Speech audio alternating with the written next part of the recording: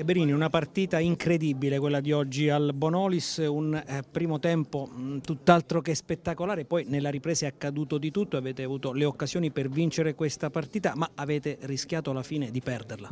Eh, questo è il calcio, eh. eravamo riusciti a, a, a, tornare in vantaggio due volte, abbiamo preso subito gol. E però il Teramo ha buttato il cuore come ce l'abbiamo messo noi, i due nostri obiettivi erano importanti e credo che sia il Teramo che ha fatto una grande prestazione di cuore, di volontà, ma anche la Reggiana lo ha fatto. Il risultato purtroppo non serve a nessuna delle due perché noi da essere secondi siamo passati quarti e il Teramo dovrà giocare i play-out.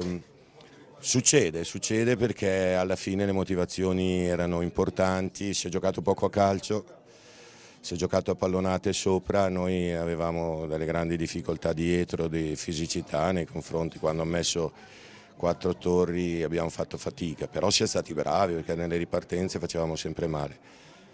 Dispiace per noi, dispiace per loro, però abbiamo, abbiamo tempo di rimediare, abbiamo tempo.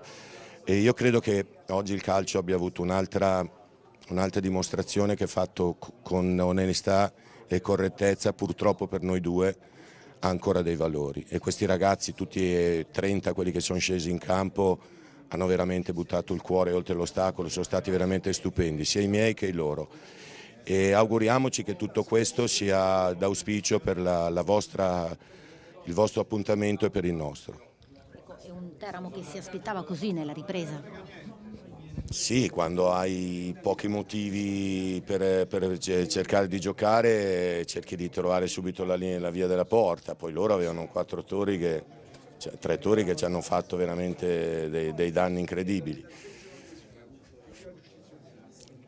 Non è stata una gran partita, è stata una partita solo emozionante per tutti, e, però ripeto, bene, calcio fatto così va bene per tutti, per i tifosi, per, per i giocatori hanno dato grande dimostrazione di serietà a tutte e due le squadre. Berini in quel finale convulso quando il Teramo attaccava senza soluzione di continuità ha avuto timore di perderla alla fine questa partita? Ma a noi non ci interessava pareggiare, addirittura Eric è andato a fare l'esterno sinistro, non...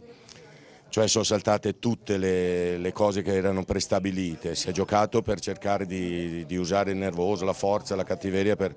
non, non ci siamo riusciti né noi né loro, tutto lì. Grazie.